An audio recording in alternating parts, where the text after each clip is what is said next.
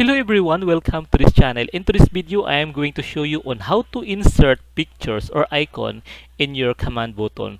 Just like this one guys. So now if you are still interested, please watch this video until the end and please subscribe if you have not yet subscribed. Let us start. First, let us create a form design and let us add a command button. Just cancel this and then copy paste let us expand to have more space. Okay. Now let's rename this as cells. This one employee. This one is report. And also this one is settings. Okay. So now let us add a pictures guys but let us highlight this all and then temporarily let us select general. Okay? And now select and then for the picture so click this and then click three dots. And instead of uh, using this one let us use this browse. Then let's go to my desktop. I save those pictures in my desktop and then select this one icon files and also this one I'm using 32 by 32 this is the size of my icons. And then to show all the icon files let us select this icon file. And here we go guys. So cells. So I have to choose. Okay. Okay. So this is the result. And next employee. Three dots browse go to this one. Bitmaps. Click change to icon. Employee. Okay and then that's the result. For reports again picture three dots browse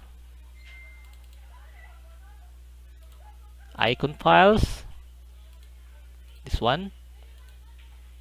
Click OK and the last but not the least for the settings here we go. So this is the result. And let us um, expand. Okay.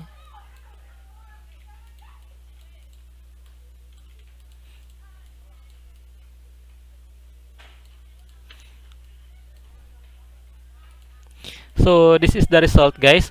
So we can also align this if you want this icon to be in the left or in the right. So you can just go to the alignment this one alignment. You can choose left okay this one. Or if you want it in the right so this is also the result. I mean uh, that's the center okay this one. But I like it in the center so I have to choose the center okay this one. And also if uh, with regards to the caption. If you want the caption is in the left. So picture caption arrangement. Let us select this left. Okay this is the result guys. And also if you want it at the top let us uh, expand. Okay. So this one at, this is at the top. And also if you want this at the bottom located at the bottom so this is the result. So that's it guys. And then we can also uh, design. For example the font color is that one and then bold. Okay that's it. Now I'm going to show you on how to create or how to convert your pictures into an icon file. If you have already guys a picture just like me uh, I have a picture which is in my desktop